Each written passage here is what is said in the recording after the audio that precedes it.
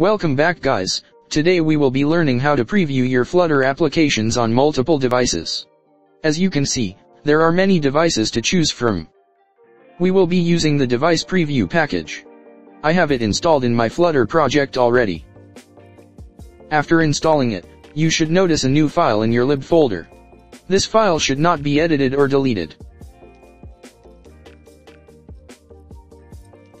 Now to start coding. Go into the run app function of your app, and here we will use the device preview. Just type device preview and it will automatically import it in your file.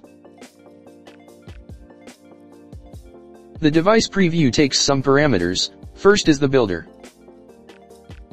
The builder takes a in a context and then return your app widget which is called my app in this case.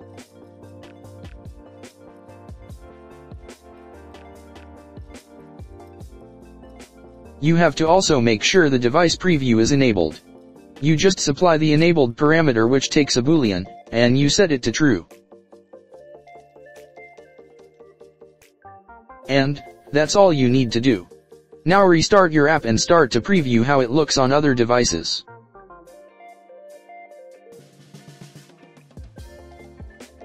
If you enjoyed this video, let me also enjoying making them by subscribing to the channel, liking this video. Don't forget you can also request a tutorial.